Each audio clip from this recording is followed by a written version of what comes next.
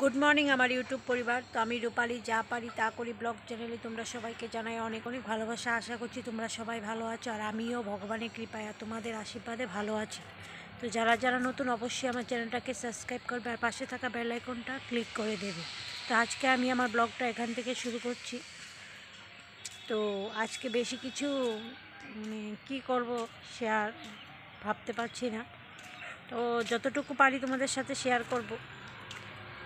আজকে আমি রান্না করব লাউ তরকারি, তারপর ইলিশের ফাঁপা, তারপর মোলার জালি এইসব টুকটাক রান্না করব।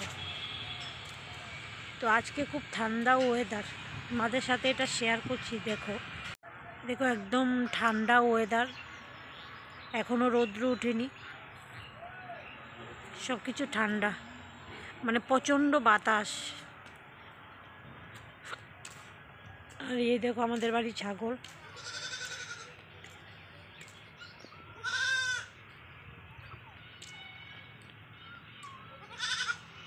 আর এই দেখো ভাত এখানে। আর এখানে লাউ দিয়ে, মুগ ডাল দিয়ে, সিটি। আর এ দেখো মোলার জালি। কালকেও দেখিয়েছিলাম তোমাদেরকে। আর এ দেখো ধনিয়া পাতা এনেছে বাজার থেকে। লাউ তরকারিতে দেওয়ার জন্য। আর এখানে সর্ষে ইলিশ ইলিশ ফাঁপা করব। তার জন্য সর্ষা ভিজিয়েছি। তারপর বাটবো।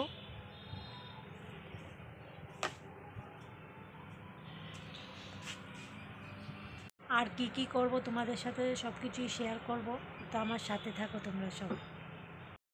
A few moments later. দেখো গাইস আমার সর্ষে ইলিশ ফাঁপা কি সুস্বাদু গন্ধ। দেখো। একদম সর্ষে ইলিশ ফাঁপা এটা। আর এখানে হচ্ছে লাউ তরকারি।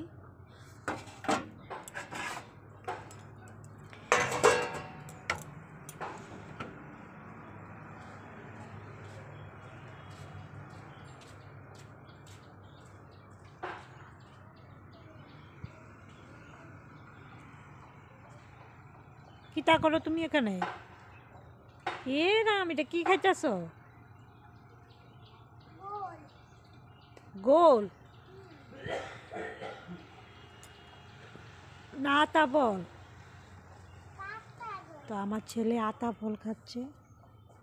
2000 years later. তো হে গাইস আমার সান টান একদম কমপ্লিট তো আমি এখন ভাত খাব পাপা ইলিশ দিয়ে দেখো। তোমাদেরকে দেখাই। এই দেখো, পাপা ইলিশ আর লাউ তরকারি দিয়ে ভাত খাব। তো তোমরা আমার সঙ্গে থাকো।